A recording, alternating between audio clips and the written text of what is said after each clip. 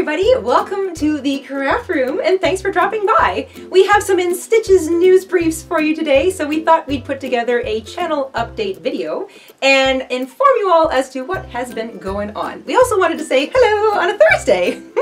Firstly, Etsy.com is celebrating back to school with a sale, and our Etsy shop will be taking part in it. So all of the crochet patterns in our shop will be on sale, 15% off, starting today, which is Thursday, August the 30th, and running right through the weekend to Monday, September the 3rd. You don't need a coupon code or anything. If you head over to our shop, you'll see all of the pattern original prices and the little markdown price next to it.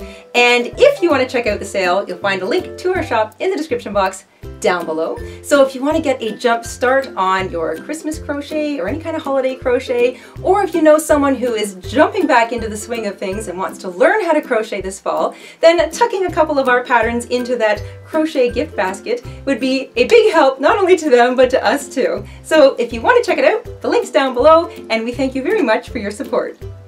Next, we discussed color, how to create palettes, how to use a color wheel, some of the terminology that is common and sometimes mystifying for people in our last live stream InStitches Family Crochet Party. A lot of you were really interested in this information, so we're going to cobble together a little more of it in one place and put it up on our website. You'll find this on the tools page. Not today, but possibly by the end of today. Look for it before the end of the weekend. We will be updating the tools page on our website. You can check out our website. The link will be in the description box down below, and it's easy to navigate. All of the individual pages are listed across the top when you get there.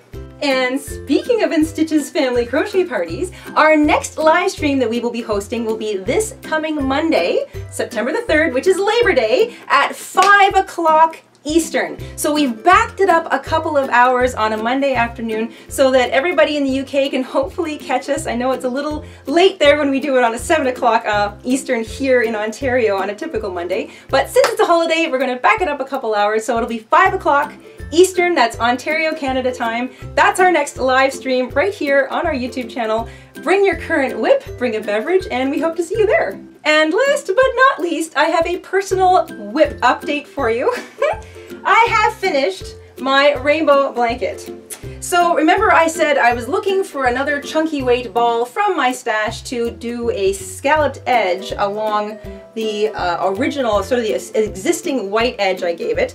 Well, I couldn't find a chunky weight ball that I liked, so true to my own word, I am calling this done. I've woven in the ends, and this is now my cozy rainbow chunky weight blanket. I am going to curl up under this in the coming cool weather. Apparently we're going to get some.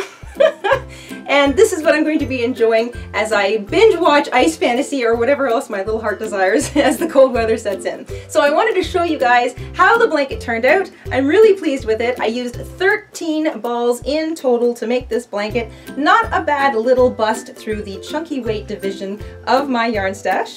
And uh, yeah, there it is, in all of its rainbow glory. and that is it. Ding, ding, ding, ding, ding. I need like news flash music here or something. Thanks for popping by. We will see you tomorrow and we'll see you on Monday. Enjoy your long weekend. Pray for cooler weather. we'll see you soon. Bye, everybody.